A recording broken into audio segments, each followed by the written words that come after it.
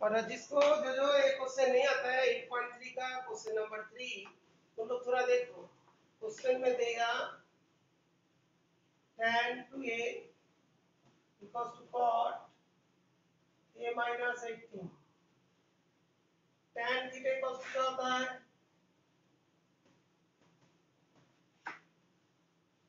cot 90 minus theta ये होता है।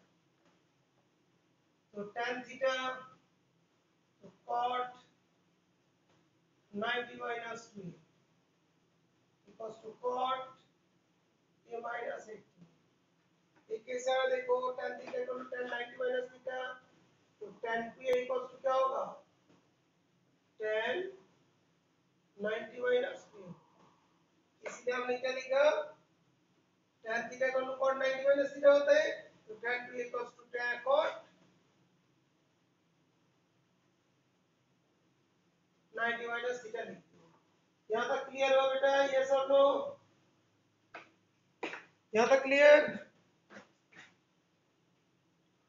बेटा क्लियर हुआ? ओके अभी देखो, ये दोनों ही कॉट है A B cot A B cot therefore 90 minus 2a a minus 18 degree इसको minus two A minus A equals to minus eighteen minus ninety minus three A equals to minus one zero eight degree तो three A equals to one zero eight A equals to one zero eight degree upon three A equals to thirty six बेटा clear हो गया? बेटा is it clear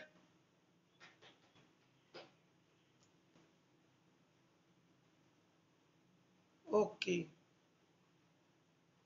अच्छा formula कैसे apply करते हैं? देखो बेटा, ये tan है cot है और ये फाइंड करना है।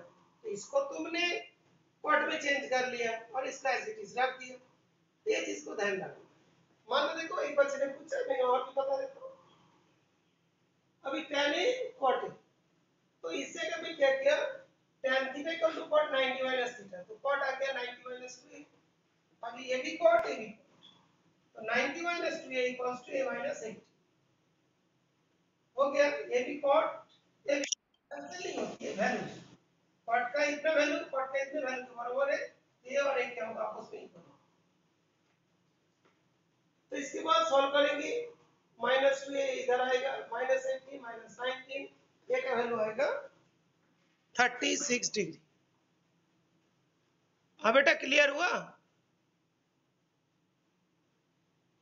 किसने ग्री मार्क्स लिखे थे? अच्छा ठीक है ओके अभी आ जाएगा धीरे धीरे आ जाएगा।